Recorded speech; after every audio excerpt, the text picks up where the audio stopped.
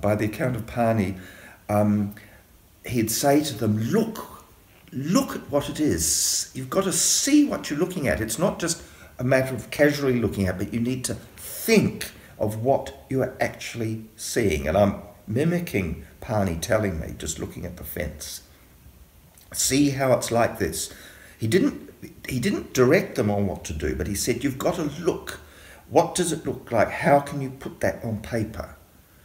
So although he wasn't an artist himself, he taught the children to see what they were looking at.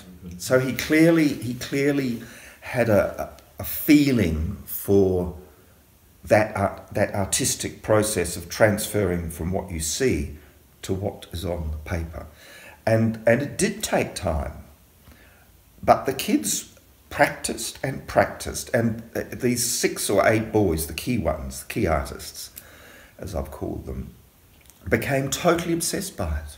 Totally obsessed. And that's why they wanted to have be able to do it at school at night or do it in their dormitory at night. And Mr. White gave them a lantern, uh, just a hurricane lantern, against the orders of native welfare. This is the, by the account of the children. The correspondence may be slightly different on this, but this is how this is how Pani and Mickey both corroborated the story.